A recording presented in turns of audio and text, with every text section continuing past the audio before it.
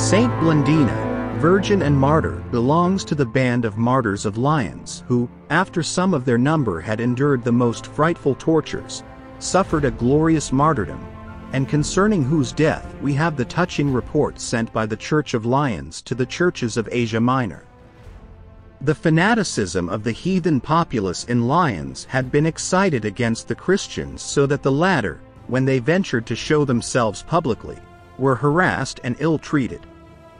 While the imperial legate was away the Chiliarch, a military commander, and the Duumvir, a civil magistrate, threw a number of Christians, who confessed their faith, into prison.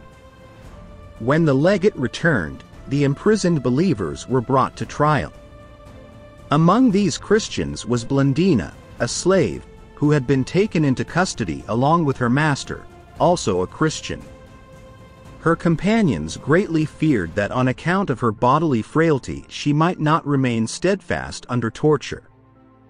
But although the legate caused her to be tortured in a horrible manner, so that even the executioners became exhausted, as they did not know what more they could do to her, still she remained faithful and repeated to every question, I am a Christian and we commit no wrongdoing.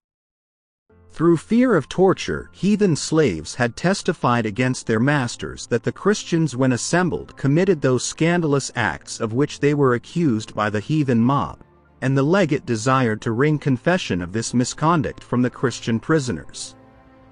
In his report to the emperor, the legate stated that those who held to their Christian belief were to be executed and those who denied their faith were to be released. Blandina was, therefore, with a number of companions subjected to new tortures in the amphitheater at the time of the public games. She was bound to a stake and wild beasts were set on her. They did not, however, touch her. After this, for a number of days, she was led into the arena to see the sufferings of her companions. Finally, as the last of the martyrs, she was scourged, placed on a red-hot grate, enclosed in a net and thrown before a wild steer who tossed her into the air with his horns and at last killed with a dagger. Her feast is celebrated on the 2nd of June. O Saint Blandina, virgin and martyr, despite of all the gruesome tortures which thou didst endure for the love of Christ, you persevered and continually trusted in God for his help and assistance. And such a great manifestation of His Majesty's power and assistance to those who put their trust in Him, despite being greatly feared by your companions that thou might not remain steadfast under torture due to your bodily frailty, thou not only, by the help of God, endured the horrible tortures that were imposed upon thee. Thy executioners, too, became exhausted and did not know what more they could do to thee. When they bound thee to a stake and wild beasts were set before thee, not only did our good God preserve you from them devouring thee, they too touched thee not. Now then, O great saint, you who suffered so much so perseveringly, yet too with such great intensity of love for God, obtain for us the grace of perseverance and the grace to trust in God just as how you did in thy trials. Please also obtain for us the grace of purity of mind and conduct and the grace to love God with so great an intensity that we will persevere until the very end until we come into His presence. In gratitude, we desire to increase our love and trust for God and strive to detach ourselves from anything that will injure our friendship with God. Amen. Saint Blandina, Virgin and Martyr, please pray for us.